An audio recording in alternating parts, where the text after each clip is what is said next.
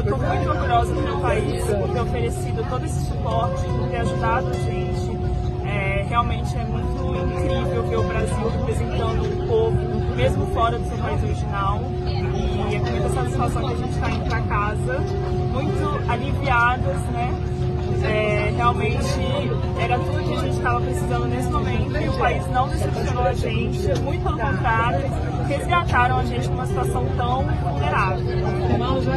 Faço das palavras da Irana as minhas, porque eu sinto orgulhosa de ser brasileira e o alívio é, não tem como explicar, é de poder contar com o país no momento tão difícil. Queria agradecer a Força Aérea, ao governo,